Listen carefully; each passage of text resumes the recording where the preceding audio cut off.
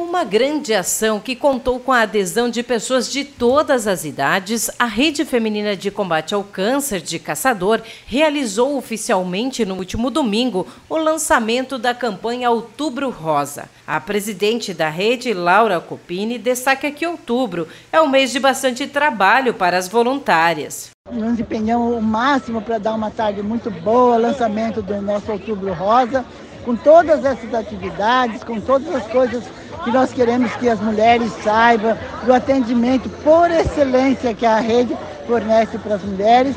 Estamos esperando todas as mulheres lá para fazer o seu exame preventivo, para cuidar da saúde, receber as orientações que a rede pode dar. Nós temos muitas palestras, muitas visitas, muitas pessoas procurando a rede para esclarecer sobre o nosso trabalho, muitas pessoas também colaborando parceiros nossos que estão junto com a gente, tanto pessoalmente, né, dando seu trabalho, suas coisas boas para nós, como também financeiramente, muitas pessoas estão colaborando com a gente. Cuide-se, previna-se, a gente fala assim, olhe, se olhe todo dia, faça o seu exame preventivo uma vez por ano e se apalpe todos os meses, porque vai, vai descobrir se tem algum problema e tratar logo. A ação aconteceu no Parque Central e contou com uma parceria do CRAS, que proporcionou atividades para crianças com brinquedos. Já no palco principal, aconteceram diversas apresentações musicais, como, por exemplo, do coral da Mimo, que entoou o hino da Rede Feminina de Combate ao Câncer.